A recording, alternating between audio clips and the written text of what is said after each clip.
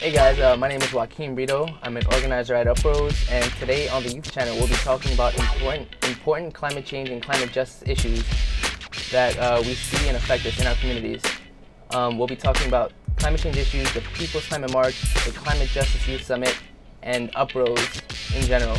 But, you know, I need help with all these topics, so uh, with me here today are Areli Sosa, Rebecca Sanchez, and Jonathan Ferrer and uh, I've had the pleasure of working with them, some for a short period of time, others for what it seems like a lifetime. Um, and yeah, they'll be helping me out today. So can you guys just introduce yourselves? As he said, I'm Rebecca. I'm 17 years old. Um, I live in Sunset Park. Um, I'm Puerto Rican and Hello, my name is Areli. I've been with Uprose uh, for two years now, and I am Mexican American, 20 years old, and been living in Sunset Park for since since I was little. So yeah. Hi, uh, I'm Jonathan. I'm 18 years old. I've been with Uprose for four years now. Uh, I've lived in Sunset Park my entire life, and uh, I've had the great experiences of traveling the world because of Uprose.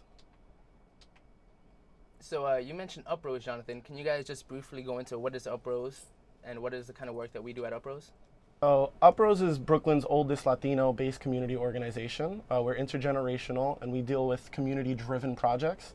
Uh, we're health concerned, so everything that has to do with asthma, upper respiratory issues that are directly linked with environmental issues. So people walk in and they choose what, what they want to work at work on at Uprose? Yeah, there's a lot of support for that. So people walk in, anybody from youth to the elderly, and people that are already in this field that come up. So everything comes from the ground up. All right, cool, cool. So um, I guess you guys can go into what your roles are at Uprose and uh, and what you do to address some of the issues that the the communities and communities similar to Uprose to a Sunset Park face. Our roles. Yes. Um, so one of my roles as the moment is um, helping the summer youth leadership program and helping them teach each other along with me myself um, about climate justice and environmental justice and I've um, I was also training them on um, occupational safety. Uh, I started out working on a campaign to bring back a local bus and uh, just doing a lot of outreach, uh, talking with a lot of people in the community, um, and then uh, right now I'm also helping out with the Summer Youth Leadership Program. Cool, cool.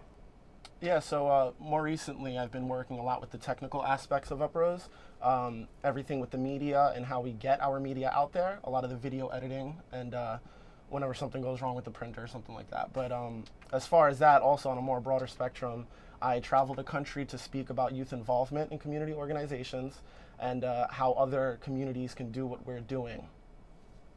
All right, cool. So it sounds like Uprose, you know, is really heavy on working on youth and developing youth. Um, can you guys just talk briefly about why it's important for youth and community members to work together to tackle the issues of climate change in the uh, in the community?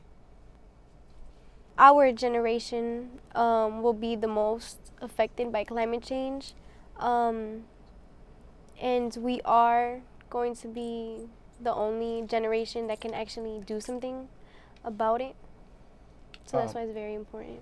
Yeah, it's, it's also really important because you have to realize that natural disasters such as tornadoes in Brooklyn, droughts in the West Coast, we had two uh, hurricanes, Hurricane Sandy, Hurricane Katrina, within the past couple years, and that's just proof that climate change is real. Um, I think it's really important for an organization like us to exist, not only in Brooklyn, but around the entire country. But I think it's also very important to keep it in the communities that are most impacted, like frontline communities of Sunset Park can you guys just like do you know any other frontline communities that are that are affected by climate change? Maybe like, that were recently affected by uh, climate change, like maybe by Irene or um, yeah, definitely. Um, it, it always usually does follow that trend of low income communities of color. So I'm going to throw out some in Brooklyn that we deal with uh, Sunset Park, Brooklyn, really most of Southwest Brooklyn, uh, Red Hook. Um, Far Rockaway is more in Queens and the towards Long Island more. Um, Coney Island. Coney Island. I don't know. Can you, I can't really think of any more right now off the top of the head, but yeah, I mean there there are a few. I think we we we've gotten enough. Um, so we, you know we've talked about some of the things that Uprose is dealing with. Can we uh, can you guys briefly just mention some of the victories that Uprose has has uh, I guess, entertained in the past? Like, you know, what are some victories that and successes of Uprose?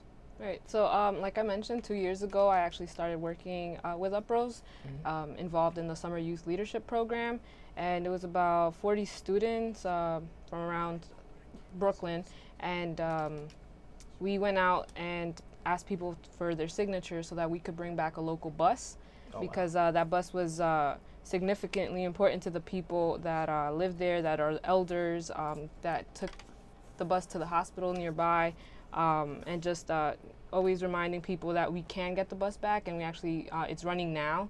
And um, I've seen people use it. I live right next to that bus, so every time I see it, I'm like, yeah. and I've gotten a few uh, other bus drivers to like honk at me, and you know, like we're excited about it being back. So that was one of the victories. Uh, then uh, recently, another thing I was working on with uh, Rebecca actually, um, uh, Uprose helped with uh, the participatory budget. So um, we got, you know, just doing a lot of outreaches, you know. Yeah, Yes. and, and from what I've heard, like like our district, the Sunset Park was the district with the highest community turnout to the uh, to the voting. Yeah. So that's pretty cool. Like like Uprose's effect is definitely felt. Um, a couple other projects that we have done and victories associated with it was uh, the Fourth Avenue median uh, expansion in Brooklyn, New York. So basically, in the past couple years, we noticed a lot of fatalities dealing with Fourth Avenue in Brooklyn running through our neighborhood and other surrounding communities. So what we did was we expanded the median for pedestrians and bicycles, bicyclists, and um, it slowed down traffic significantly and it made it a lot safer and we noticed a big impact with that um, also we have done uh, a number of events dealing with community uh, engagement uh, we stopped uh, a power plant the size of three football fields from being placed in a low income frontline community and that actually allowed for the doubling of green space with within walking distance of our communities so um, we worked a lot on uh, greenways and having uh, more green space available for communities that lack that.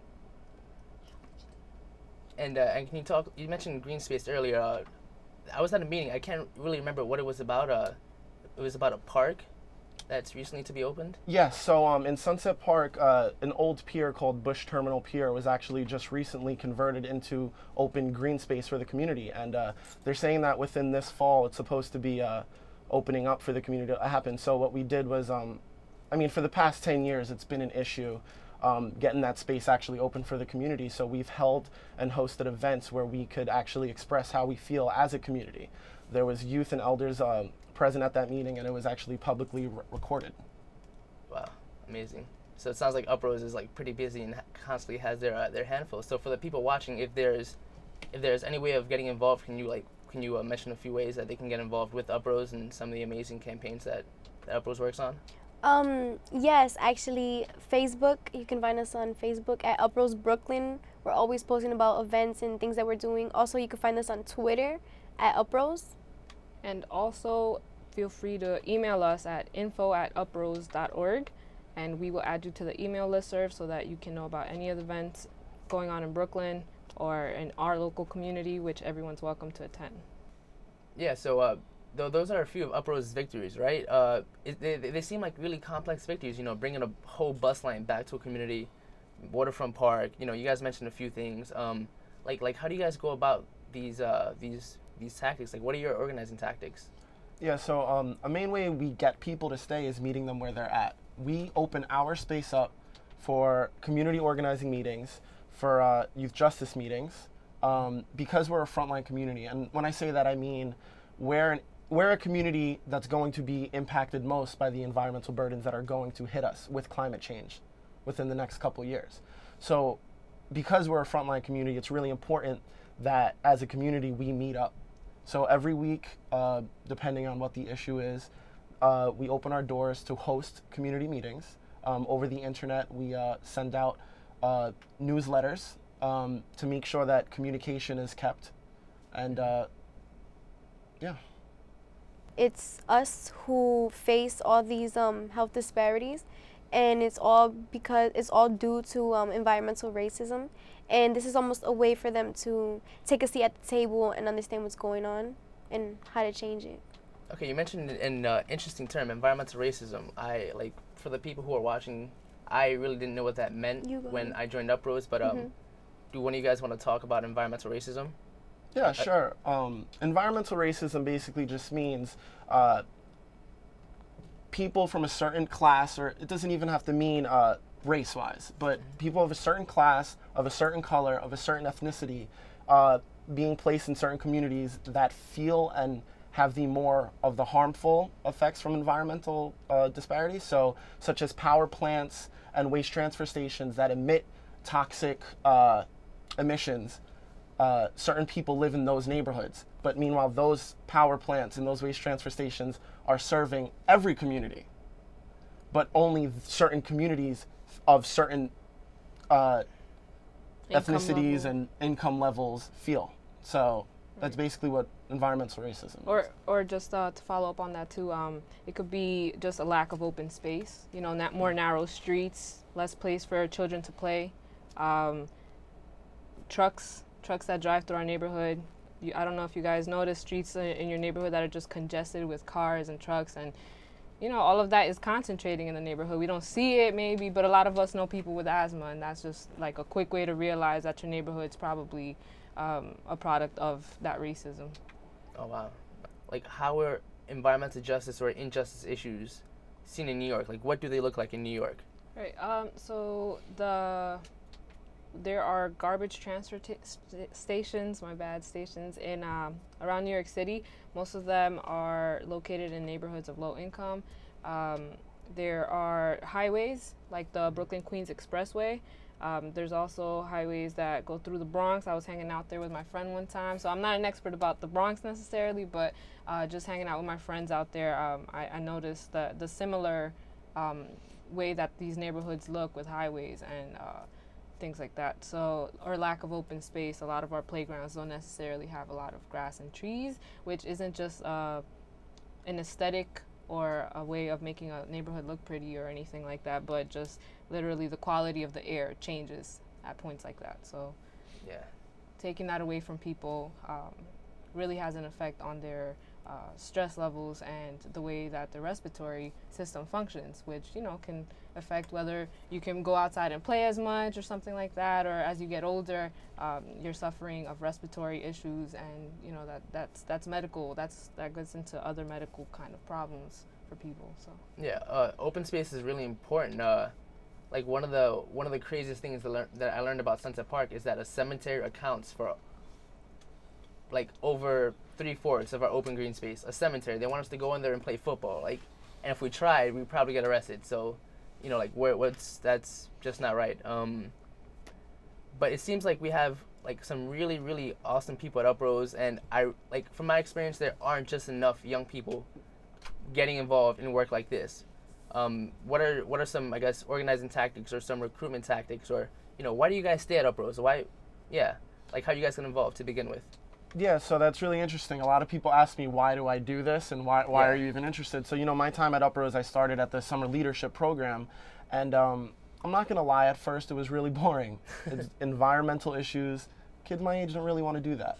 But when I was really when I was really starting to be educated about how people like me have asthma, and when you compare it to people with lighter skin in more wealthy neighborhoods surrounding my neighborhood, you wonder you you wonder why there's a connection.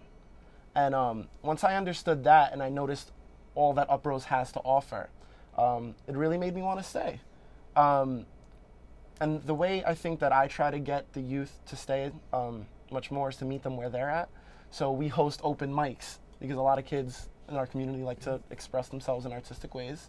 And we open our doors to not only environmental issues, but also an open mic. It's a community based organization. Yeah. Um, yeah. So, actually, the executive executive director Elizabeth, um, she's known my father for years. Um, I recently moved with my father to New York, um, and you know, he took me one day to meet Elizabeth, and when she spoke to me about what they do here, it really opened my eyes a lot more to understand like my surroundings and the environment that I'm I'm in and it just it just amazed me to see how how the effects that um, environmental racism has on people like me. So I, I had to stay. you know, because I had to make a change. All right, cool. And what are some of the events that that uh, Uprose holds? That Actually, yeah, it's pretty interesting that you asked that. Uh, coming up, we have our fourth annual New York City Climate Justice Youth Summit, and we're also using that to lead on to the uh, People's Climate March taking place in September. Oh, cool. The People's Climate March. I've heard about that. So, uh, like, from what I know about the People's Climate March is that, uh, so in, in sep- on September 23rd, world leaders, UN leaders are coming to New York City to have this big climate conference, and and they're basically going to talk about like ways of you know making the environment better, uh, dealing with issues of climate change and all those things. Um, but in 2009, I believe, uh, I believe it's 2009, there was something called the Kyoto Protocol, and it was supposed to do what they're meeting to do now, and that is address the issues of climate change. Um, and this year, on September 21st, we're holding the People's Climate March. And this march is supposed to be the biggest climate march that New York City has ever seen. Like over 300,000 people, possibly.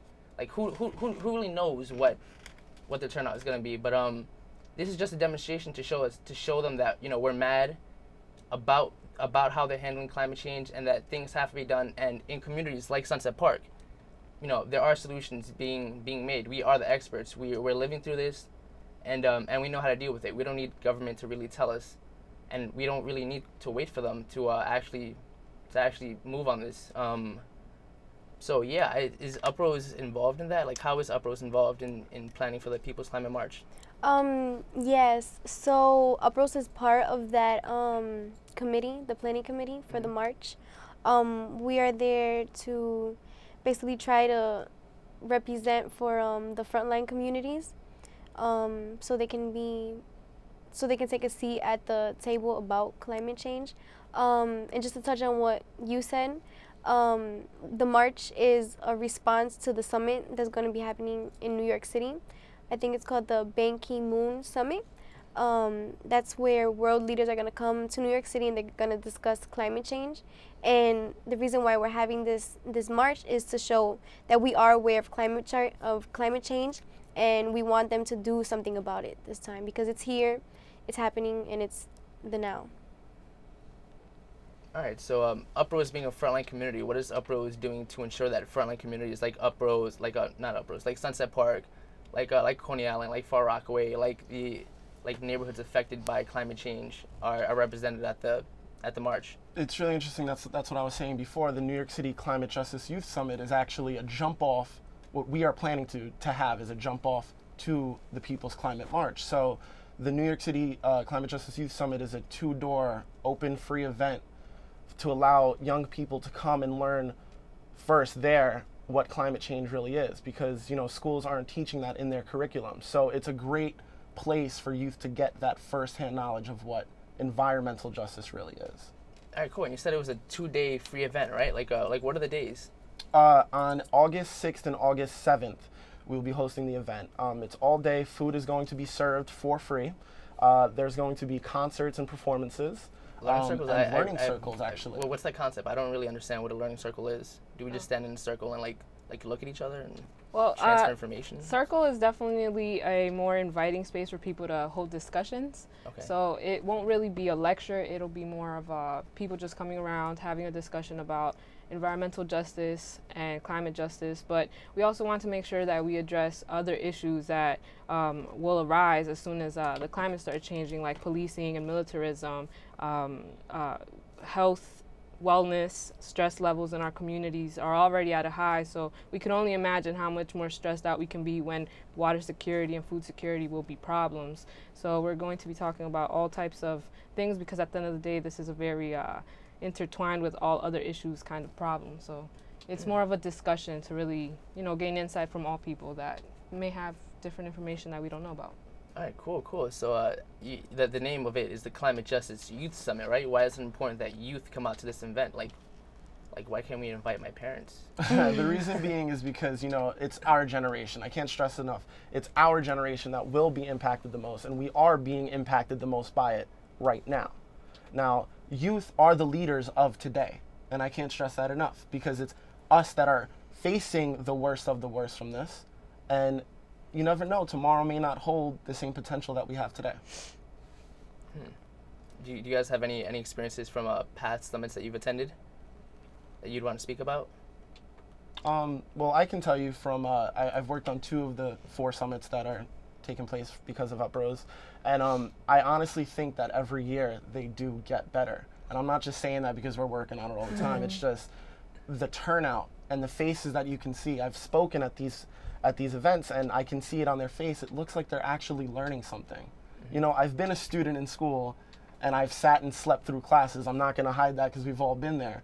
But to actually see youth, people my age, I don't even want to call them youth, young people, mm-hmm.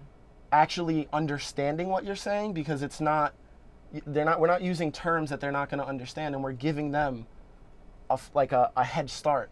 So I guess now we'll cut to a, a quick promo video about the Climate Justice Youth Summit and give you guys a little taste of what's to come.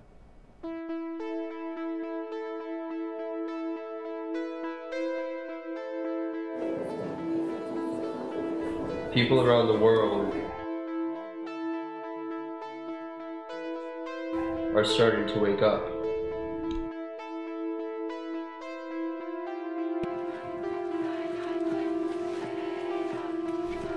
It's our turn to do something. We all witness firsthand the devastating physical effects of climate change and its economic toll.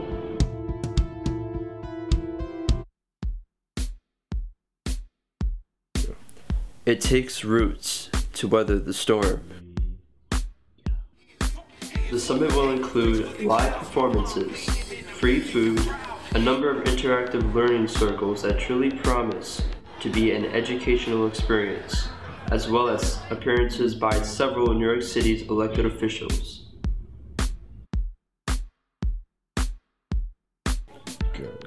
The summit will be the jump off to the biggest climate march in New York City's history, the People's Climate March. So join us on August 6th and 7th, and let's get the word out on this historic event.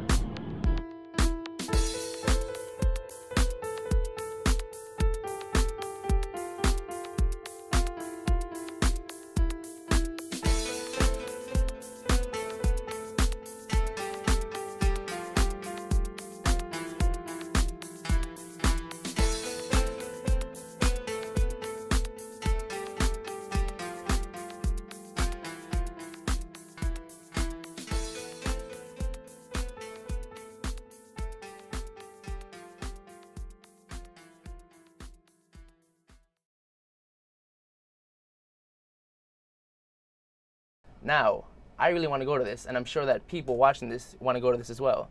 Like learning circles, free food, concerts, like panelists, like you guys have everything.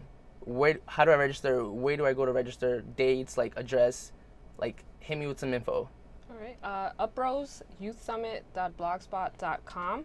Uh, you Okay. will be able to ta- to register as an individual, table, or volunteer because we will need people to help us out with uh, getting food to the participants or setting up and things like that. But um, you know, it could also be a very meaningful experience for anyone who decides to volunteer or table. Um, but yeah, uproseyouthsummit.blogspot.com. All right, cool. And uh, and what are the dates and, and time of the summit? Right. So August 6th and 7th, uh, starting at 1 p.m. at the Urban Assembly School for Green Careers. Uh, that's at 145th West 84th Street. I believe you could take the D and 6 train for those who uh, will take the train. But, you know, 145th West 84th Street in Manhattan. All right, cool. And uh, and I don't know if we mentioned it before, but this year's I guess little subtitle to the Climate Justice Youth, Youth Summit is the roots that will weather the storm, and that has a lot of deep meaning behind it. Um, the one that we're using is that uh, trees, you know, very big and stern trees, they um, they have deep roots, right? And you know, when there are multiple trees lined up or in the area, their roots tied together, just like community members. You know, you get to know people, you become tied and, and connected with them. That's essentially like trees. Um, when when Hurricane Katrina hit uh, New Orleans, there were oak trees with really deep roots that were intertwined with each other that actually saved hundreds of lives because it lessened the strength of the water coming over coming over the levees and all these things. And that's essentially what a frontline community is. You know, we're, we're the roots that will weather the storm. We're the experts, um, and you know, we're, we're that frontline community. Like we we know the solutions.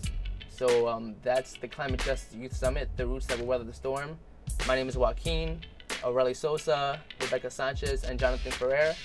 Um, we're representing Uprose, uh, which is a part of the New York City Environmental Justice Alliance and the Climate Justice Alliance, and we really hope that you guys can all make it out. Like this is going to be the biggest summit that we've had up to this point, and that's saying a lot because last year we had 750 kids.